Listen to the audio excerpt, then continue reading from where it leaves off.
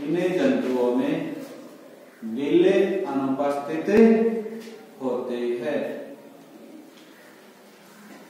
Next है। गिल अनुपस्थित होते हैं। इन जंतुओं में नेक्स्ट पॉइंट लिखो। इन जंतुओं में युग्मित वरक पाए जाते हैं। इन जंतुओं में युग्मित वरक पाए जाते हैं। युग्मित वरक पाए जाते हैं। अगला पॉइंट लिखो।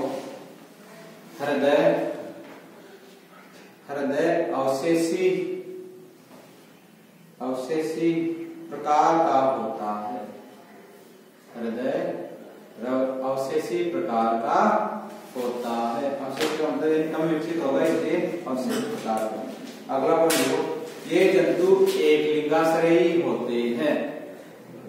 ये जंतु एक लिंगाश्रयी होते हैं, या इसे अपन पृथक लिंगाश्रय भी बोल सकते हैं। एक ही बात है ना, एक लिंगाश्रय या पृथक लिंगाश्रय। ये जंतु एक लिंगाश्रयी होते हैं। ये लिख लो आप। समझाने के लिए बोला है कि पृथक लिंगाश्रयी कहीं आ जाए तो वो भी क्या है? एक लिंगाश्रयी जंतु है। जिसका मतलब यानी एक जंतु पर नर जननांग होगा और किसी दूसरे जंतु पर मादा जननांग होगा। सिर्फ़ एक ही जननांग एक जंतु पर पाया जाएगा। रिप्रोडक्टिव ऑर्गन नेक्स्ट है परिवर्तन अप्रत्यक्ष होता है। परिवर्तन अप्रत्यक्ष होता है। तथा लार्वा तथा लार्वा ट्रोपोफोर होता है तथा लार्वा ट्रोपोफोर होता है। तथा लार्वा ट्रोपोफोर होता है। इन जंतुओं को, इन जंतुओं को सामान्य भाषा में, इन जंतुओं को सामान्य भाषा में, सामान्य भाषा में रद रद कवची भी कहते हैं। रद कवची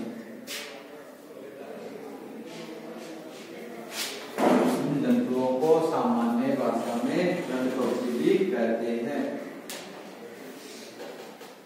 एग्ज़ाम्पल है डेंटिलियस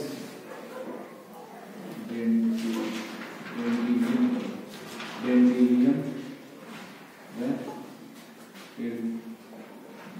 डेंटिलियस डेंटिलियम व डेंटिलियस डेंटिलियम व डेंटिलियस ये क्या है? एग्ज़ाम्पल है. इसके वर्ग इसके को इस वर्ग के जंतुओं में टांगे कैसे पाई जाती है बाद शंकु आकार के। कैसे पाए जाते हैं? शंकु आकार के। हृदय कैसा होता है? अवशेषी। अंग के समान होता है और एक लिंगाश्रयी होते हैं। यानी सेक्सुअल रिप्रोडक्शन सिर्फ़ एक ही प्रेजेंट होता है, एक बॉडी के ऊपर।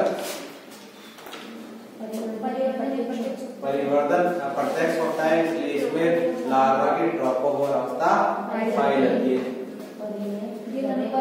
और इनमें अनुपस्थित होते हैं। युग्मित? होते। हैं यह इसकी विशेषता बहुत है ना